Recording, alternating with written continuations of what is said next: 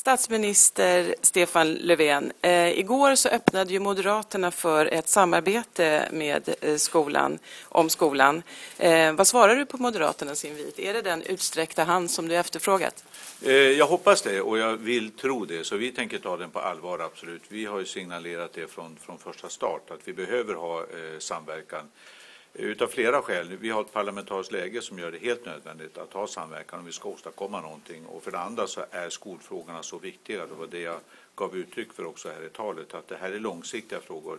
Det är frågor som inte kan behandlas olika beroende på olika parlamentariska situationer. Utan, utan lärarna, eleverna, föräldrarna och alla aktörer måste veta att det här är långsiktiga spelregler. Så vi tar det på allvar och vi är fullt ut beredda, och det har också utbildningsministern uttryckt, att sätta oss ner och diskutera.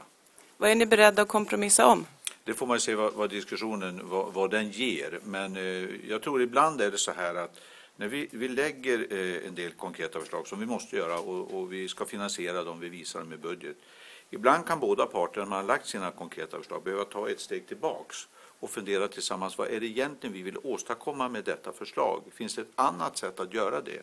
Någon annan kanske har en, en bra tanke och när man börjar pussla i den ordningen så kan det komma ut eh, helt eh, andra resultat men med samma mål och samma avsikt. Så att, eh, eh det är nog det som eh, brukar vara eh, framgången i förhandlingar. Förskoleklassen är ju en sådan fråga till exempel. Vad är det för problem med att den blir ett första skolår?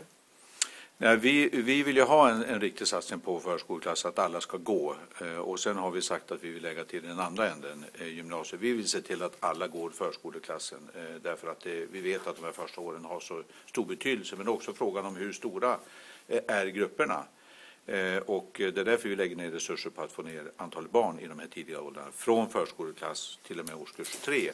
Men återigen, eh, får vi bara igång samtalen så låt oss, eh, låt oss titta över hela fältet. Vad är det som gör att vi ska kunna ge våra barn och ungdomar den bästa möjliga starten i livet?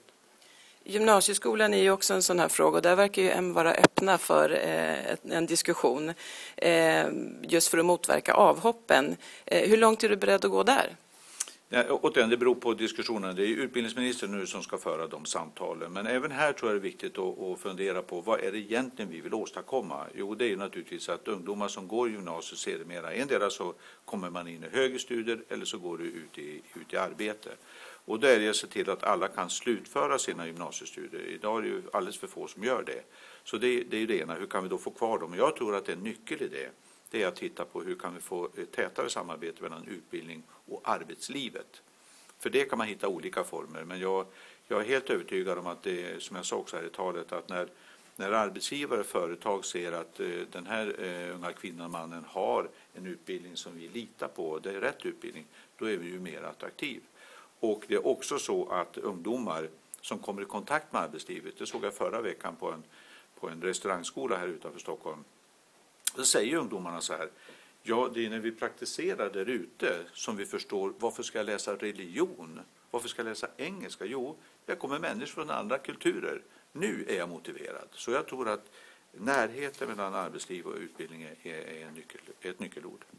Nu nämner du varken ett obligatoriskt gymnasium eller högskoleförberedande. Eh, är det någonting som du kan kompromissa om de sakerna? Nej, men det, jag sa en grundläggande sak för att få eh, ungdomar att komma igenom. Vi tycker att det är viktigt att man har det, eh, att gymnasiet är någonting som jag har med mig ut i arbetslivet. Vi ska inte lura ungdomar. Jag har sett att om du tittar på 20 till 24-åringar som finns ute på arbetsmarknaden som inte har gymnasieexamen så är deras arbetslöshet 35 procent. Den kommer inte att bli lägre, den kommer att bli högre. Och då måste vi fundera på dels hur hjälper vi de som finns där ute idag men det andra är hur ser vi till att inte fler kommer in i den situationen. Det är en lögn att tro, eh, och jag menar det är ett svek mot ungdomarna att säga ja, det är nog inte så viktigt om du går gymnasiet, men vi vet vad som händer ute på arbetsmarknaden. Vi ska vara väldigt tydliga. Eh, men däremot ska vi hjälpa dem så att var och en får sin väg till, till gymnasieexamen.